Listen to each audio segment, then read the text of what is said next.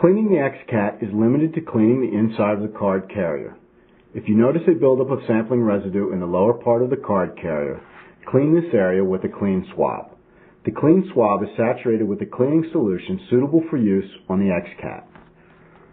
Remove the swab from its packaging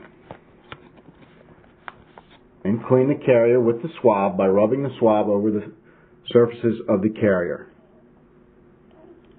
Make sure to go down the channels on both sides and across the edge at the bottom. Avoid contact between the swab and other parts of the XCAT. You may notice some discoloration on the swab from sampling residue. Dispose of the swab when done cleaning. It is not reusable. Allow the XCAT to air dry before continued use. Since this was difficult to see, I have a carrier prop here to help more clearly identify the areas to clean, which consists of the channels on both sides of the carrier and then the bottom edge.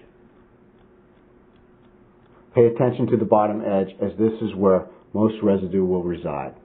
Clean the XCAT as needed or at least after every 20 samples.